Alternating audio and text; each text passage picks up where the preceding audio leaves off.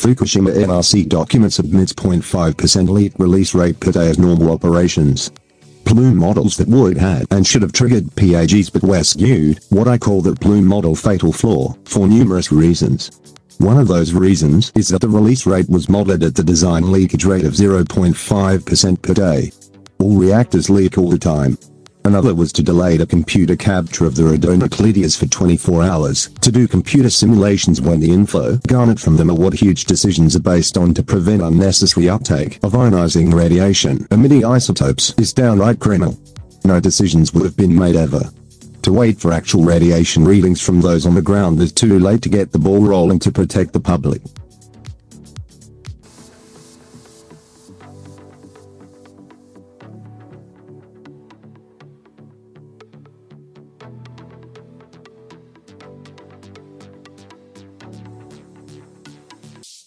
Same old lies. Simple, easy, cheap, safe, green, clean energy. They say that the new generation reactors are green and clean.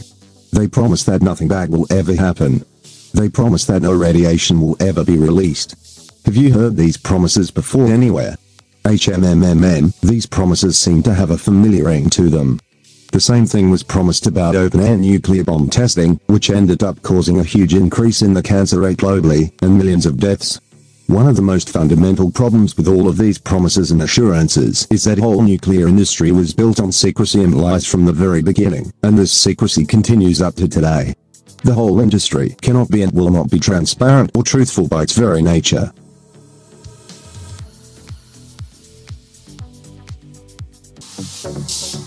Here's a conference call. The participants discuss and agreed on plausible realistic models cases for Tokyo for NARAC to run. Once agreed upon by their interagency group, this will provide to the Japanese government. The attendees agreed that the source term would include no spent fuel pool fires.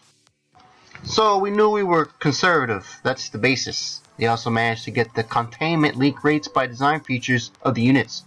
So I think we're way beyond the design leakage. Design leakage.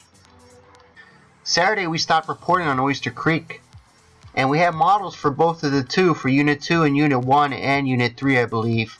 So when Unit 2 came along, I think we were just been kind of averaging it out. Okay, great. So my question was, I think originally that the source term was developed based on Oyster Creek design. Is that correct? Male participant. No, we shifted away from that during the day on Saturday. Matt Cowser. Okay, great. And that was a question I just got asked, and I thought that was probably happened at some point, but I didn't know. Johanna Turk. I have a question for the NRC. This is Johanna Turk from the NIT. There's a number floating around here, a quote that the release rate is 0.5% of the fuel per day, and I was wondering if you could confirm that for me. Male participant? No, no, that was the original assumption, and we had the containments were intact, and that's the design leak rate for the containment. Johanna Turk. Oh, well, okay. Male participant. And that would be adjusted if we did have an actual release rate that we could come up with, either calculated or assumed from any measurement. And so that is design leak rate for the containment when they were assumed to be intact. So for Unit 2, I guess that wouldn't apply anymore.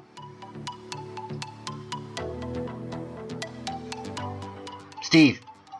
So basically they're working on the revised dose plot using radiological data for each of the reactors at 40% core. 0.5% per day over two days. So that's in process. CM home team.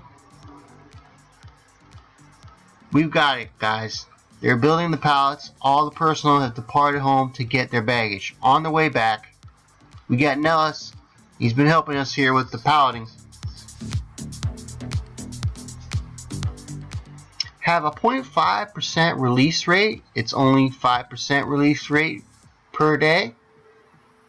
Right, of course. So 0.5, I guess 40%. That's a question to the NRC. I think you guys used a 0.5% per day, right? That's what it shows here. He's probably ran it off to do the math. Yes, yeah, so we're looking at the assumptions here. I've read that and I can't find it.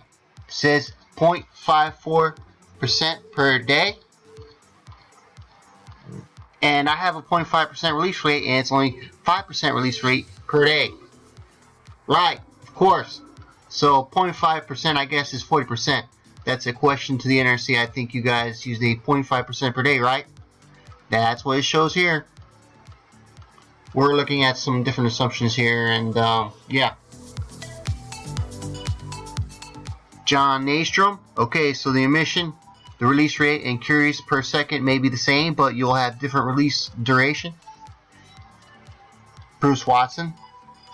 Yeah, over the release rate. It's going to be the design rate, which we said was, I think, 0.5% of the containment per day. Right. Terry. Hey, John, this is Terry. Over here. Can you share that source term with us? Okay, the design leak rate would be a good number to know. John? Well, design leak rate and the core melt, obviously. So yes, so as for as the NRC stuff goes, are you guys going to do a separate analysis for units 1, 2, and 3 with different release times? Bruce Watson? What we're going to do is we're going to use the same release rate as at doing before, and we're trying to differentiate the different times when the core went to its melt. You know, melting so the source terms may be slightly different based on the time factor. John Nastrom? Sure. And again, that may or may not be. Maybe that's more like a 10% core melt release rate. I don't know. It's a scale to measurements. So, but it's going to give us something to hang our hat on for sure now. Male participant, do you plan to compare it to the half percent release per day? John Nastrom. I didn't really analyze it, you know, for that, but we can look at this. Male participant. How it compares to the design leak rate would be a good number to know. John Nastrom. Yes, well, design leak rate and the core melt, obviously. So yes. So as far as the NRC stuff goes, are you guys going to do a separate analysis? 40% melt case. That Male participant. NRC should be online too. Rick Meower. Okay, the NRC is on. It would be in a much better position to give us this update. Bruce Watson. Yeah, that's what we're doing for all the three units. Looking at 40% core melt situation for all the design leak rates, release rate at this time. John Nastrom. Okay, now one quick comment on this is I think you guys are aware it would be useful to have like the highest probability highest dose contributing nuclides. I think we had, like Jeff said, a 15 they were. Right. Part of our assumptions are they're going to continue to have releases. Right. And we're hoping we get some time and some actual data that we could say that the source term is from the venting. But we don't know that what we're going to get that. Male participant? Right. Part of our charter is to help generate protective guidelines for folks that are closely approaching these nuclear reactors. So in order to do that, we're going to have to make some assumptions regarding something greater than the design leak rate. You know, 40% core melt and more reactors, so Bruce Watson, we decided that we had all those what if projections we had made Friday and Saturday. We can always go back and use them as a reference. What we're trying to focus on now is what's really happening. And then our real concern is that sometime today or tonight, the winds are going to shift too. If this front comes through, instead of shifting ad, the winds are supposed to switch around to come from the north and even possibly from the northeast, which would then push this potential release patch over the land areas toward Tokyo.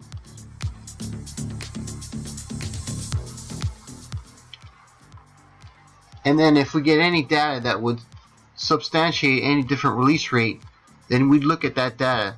Such preliminary that we're doing. We're doing a run. We're modeling each individual reactor, and then we'll have to do some kind of summation if we ever have all three of them to go at one time. Okay, we suspect that well, we have to do some core damage in a variable degree at each one of these units. We just don't know what it is right now. We just try to come up with more data out of them, and we'll be, you know, we'll be adjusting things. Our intent is to do the three models and then send them to you. make a source term. Is that correct? I can tell you that we're going to be doing here, this is Bruce Watson with the NRC.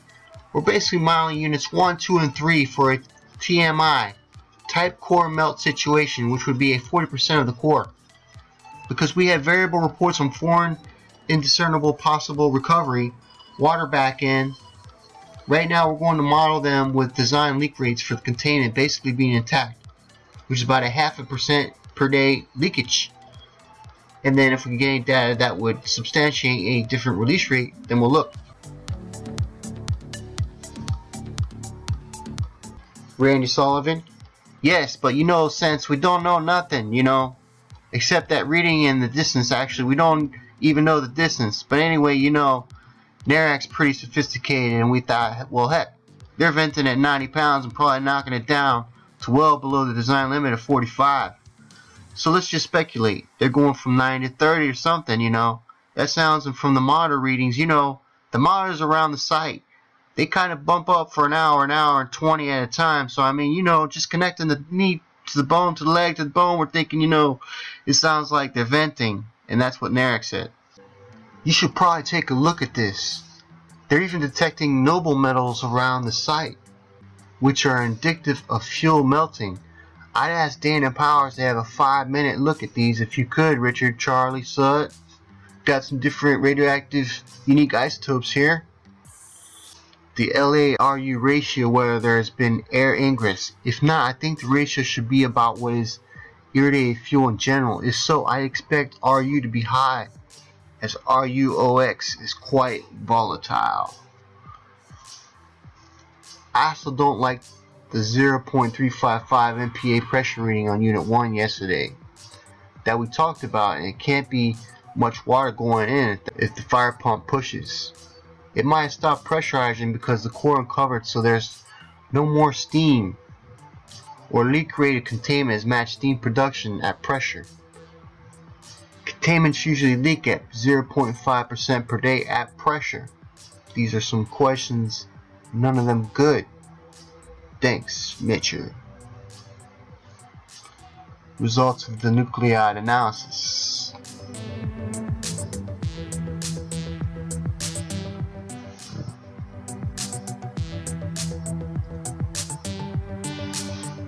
Joanna Turk. I have a question for the NRC. This is Joanna Turk from the NIT. There's a number floating around here. A quote that release rate is 0.5% of the fuel per day, and I was wondering if you could confirm that for me. Male participant. No, that was the original assumption we had with the containments were intact. That's design leak rate for the containment. Joanna Turk. Okay. Male participant, and that would be adjusted if we had a actual release rate that we could come up with either calculated or assumed from any measurement, and so that is a design leak rate for the containment when they are assumed to be intact.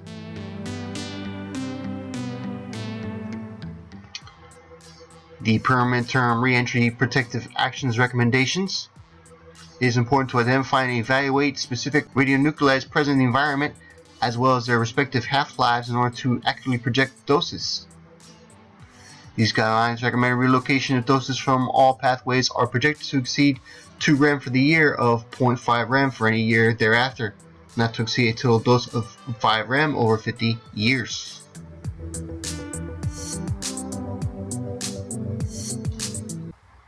Stand by.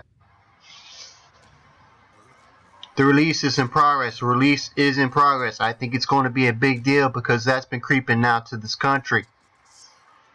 It looks like 10 to 13 microcuries per milliliter airborne. It's a matter of putting in perspective so people know. The issue on the protective measure team is responding on a discrepancy on the source term that's used by NRC. It has to do with the releases in the modeling. The RASCAL modeling for Unit 3 was substantially below the release for Units 1 and 2. And when we looked into the modeling, it's because for Unit 3 they get credit to essentially 24 hours of holdup after the fuel melt before the release started. And that's what we're doing now is going back through and verifying the sequence to make sure that these are consistent with the best information from the reactor safety team on the sequence of events at each of the three reactors.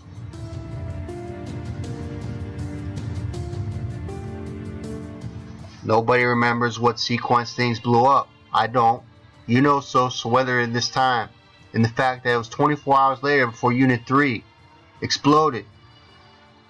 We actually have a little graph hanging up over in the corner, which actually correlates the releases of the times of each of the events. As you can see, on every single one. But I thought the spikes for Unit 3 explosion was the highest. Male participant, I'd have to go back and look at the graph.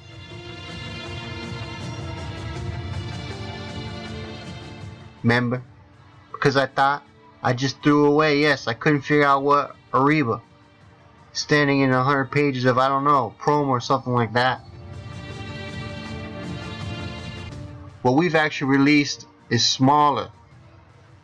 So in fact, we now have some degrees of confidence that people have settled around and talking with the folks that what we did with the mom was basically correct.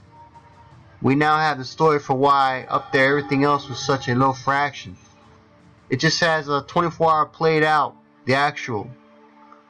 Was Unit 3 the last containment to blow up?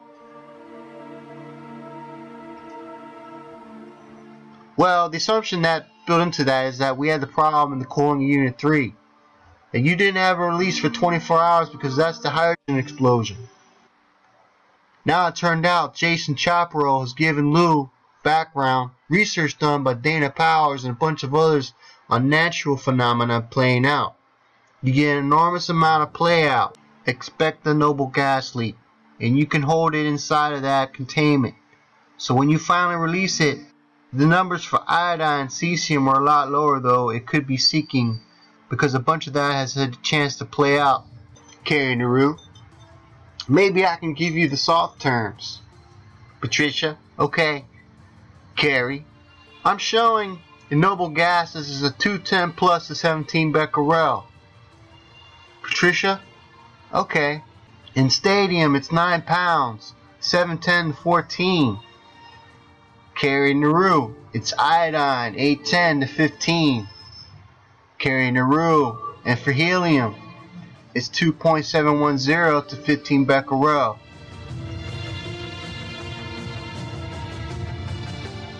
Carrie Naru, okay, we've evaluated the total. Patricia, yes. Carrie, to approximately one thousandth of the core inventory. Patricia Milligan, okay. Carrie Naru, so we tabulated for the reactor 2. Patricia, yes. Carrie Naru, with a hole in the containment. Yes. Chris Smith, based on the outcome of the most recent Deputies Committee, we understand that the miles that are being done are not being released to anybody outside the Deputies Committee. Stacy Rosenberg, right. Chris Smith, however, there have been a couple questions and some of the assumptions apparent to the source term you guys provided. Stacy, questions by whom? Well, they came from our representatives that went to the indiscernible Steve Levy. I was going to suggest, you know, as much as this, even if the hole was there, okay, that once the containment goes atmospheric, the release is going to stop. Gail. Alright. Steve Levy. The containment undoubtedly went atmospheric after about a day. So I'm going to suggest to you is to take the unit 3 because the power levels are consistent and just multiply by 2 because the unit 3 we're already giving it to you for 100%. Gail, so you're suggesting we just drop the 3 unit 2 source you provided and use twice unit 3? Right, 48 hours is problematic. Who was it? Somebody else saw a similar problem with 48 hour runs. The puff model is what's giving us the problem, but it seems somehow related to the release rate. So if you have a less of a release rate, the problem of the model can, the transport model can get all the way to 48 hours. With the high release rates, it kicks out. I've talked to the developer of that code, and he's supposedly looking into it, but I haven't seen anything back. Kimberly, okay. George AC. What's the kind of the workaround as well? There's two kind of workarounds. If all you really care about is getting a source term file so you can export it, then just don't run the close. Bill Fro. Yes. Rick Maurer. Okay. They said the Trans-Pacific arrival time information hasn't been released yet. Still need to go through approval. Rick Miar. But the combined source term NARAC wanted what they were looking for. We can release that. Bill Fro. Okay, so you going to do that? Rick. Call NARAC and have them give them access to it. Bill Fro. Okay, so you're going to call NARAC and then they're going to give NRC the access. Coming out from Unit 3. But because we invariably put in a delay in the input, what the effect of that in the running in the code is that it picked up the release after most of it was gone. Miss Eswell, yes. Miss Dorman, and in fact missed most of the Unit 3 release in the plume. so they made a plume model and they missed most of the release in their plume model. yes, that's exactly right. Dorman, okay. As well, that's my understanding, but again, you know, we haven't done all the troubleshooting on what occurred. Male participant. So in Unit 1 was 70%, Unit 2 and 33, so this would only be a fraction of the total that we were modeling, right? Miss Eswell. Yes, but just if you want more information from Cindy Jones. Told me was that there was an error on the input that was essentially making the release delayed by 24 hours. They really wasn't supposed to be modeled.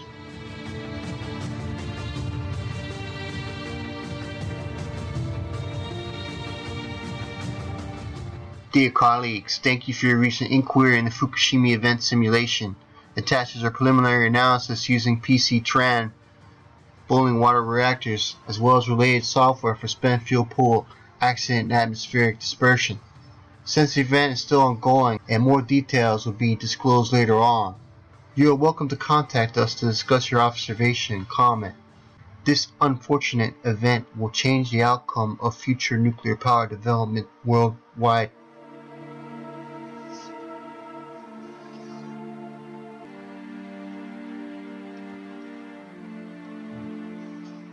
General emergency. Field survey results indicate closed window dose rates.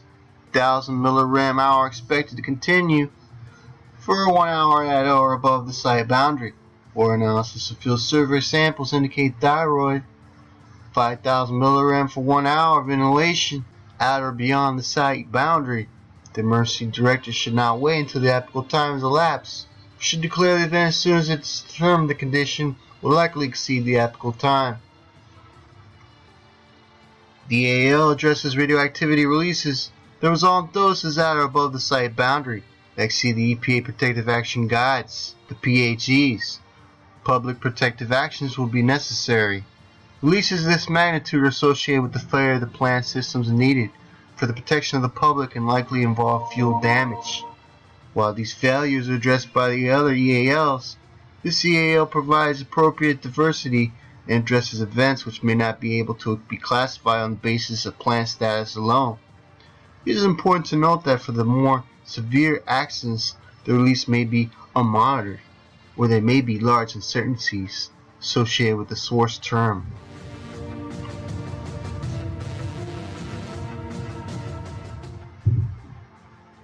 The addresses radioactivity releases the resultant doses at or above the site boundary that exceed 10% of the EPA Protective Action Guides. Releases of these magnitudes are associated with the failure of the plant systems needed for the protection of the public. The selected threshold value for the plant event radiation monitors represents the geometric means between calculated UA threshold. This is due to the differences in the assumptions used to determine base alarm set points and the dose assessment methodology used to calculate release paths.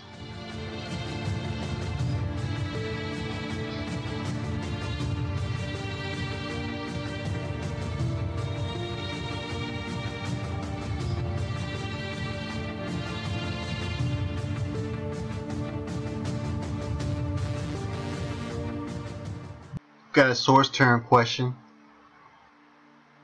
I received a call this morning at 0600 from Lou Brandon from the NRC Operations Center. He asked whether He was responsible to have a reduction in environmental release from 22% to 1% by delaying the start of dry well leakage by 23 hours. They have done multiple RASCAL runs since the Fukushima accident started. They provided source terms for these runs to the White House.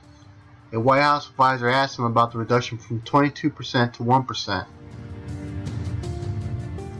The environmental releases of cesium is 22%. Leakage from dry well to environment is at 100% per day. The dry well leakage starts at the same time as core damage starts. The dry well leakage starts 23 hours after core damage starts. A release that starts a day or more of the onset of the core damage or 10 hours or more after vessel breach would be expected to have small releases. The release fractions are noble gases, iodine, cesium. This one seems to be a lot more limited. I'm only seeing three nuclides that are contributing to the vast majority of the total Curie releases. Lou Brandon. It's because in the spent fuel pool, well maybe not totally, but you got one fresh batch, which is a third of the core, and then everything else has decayed for at least a year and a half, so. Okay, so one of them was the same error that I called you about the other day. Error number 13. A fatal error. The problem description was type mismatch. The module was mode case file, and the procedure was calc. To resolve that, a few days ago, we just ended up reinstalling Rascal. George AC? Yes, see, when I worked on it, I think that's one I worked on with maybe Rich after I talked to you or somebody. George, all we did was reboot the computer. I'm going to connect to him right now. Here he is. George AC. Hello. Kimberly. Oh, George, hi. There you are. It's Kimberly. I hear you. Kimberly. I was. The shift that just left. They conveyed to me two errors. George. Okay. Kimberly. Rascal fatal errors. And I just need to let you know of them before it got lost somewhere. George. Yes. Kimberly. If it's a good time to do that, how are we going to manage it? That's pretty much where we are. Steve Holman, question on this. This is the Steve Holman NARAC question to the source they used to. Correlate the data, Reagan. Do you remember how much activity do they assume in the long-lived noble gas puff? Activity-wise to match the data? Bruce Watson? We didn't do any real calculations. Our modeling goes out to 50 miles. Okay. Lou Brandon, that makes sense. So we're going to try and model this with one big reactor instead of two little ones because Rascal doesn't really have that option of choose two or get a double output because they never designed multiple reactors melting down at the same time. So it's not even in their output. but the fact is, if you released all the fission products in two little ones, it might be a greater impact than the Grand Gulf is going to provide to you. It's probably why it will probably overestimate anyway. So maybe fine to answer that question. What we're looking at right now is these NOAA runs. I don't know. Steve? I dropped all the beta emitters, Kathy Brock. I mean really.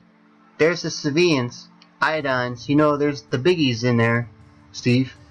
That's exactly why we give you cesium, barium 140, lanthanum 140, tellurium 132, because it's the precursor to iodine and xenon. Therefore, we're assuming an elevated release, a ground level release. Brenda, okay. Steve? I think that's really all, okay? We'll put a list of the nuclides on it, on your print. Brenda, okay. Steve, 12, 13, 14. We down to 18. I dropped all the beta emitters.